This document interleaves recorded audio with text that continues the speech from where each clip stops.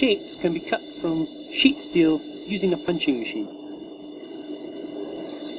Shape tools are used to punch the material from the sheet.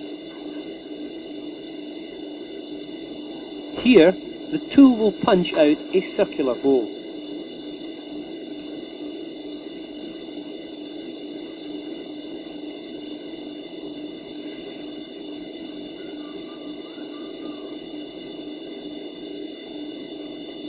This tool allows for the punching of slots.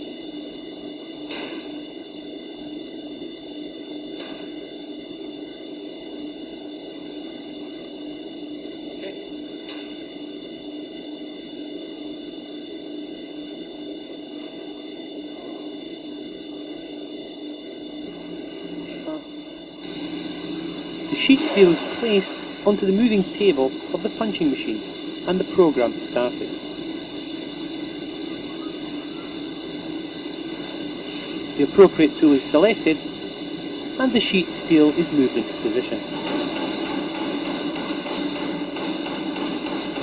The sheet is moved allowing for accurate cutting.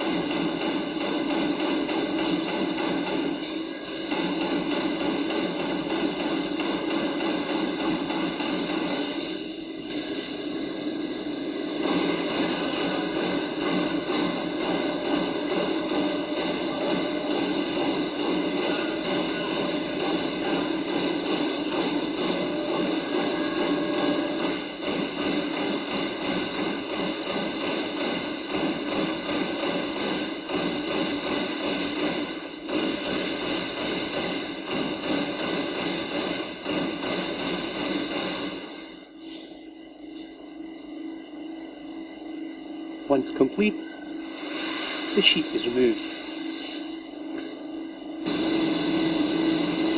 Here we can see that both circular and slot cutters have been used.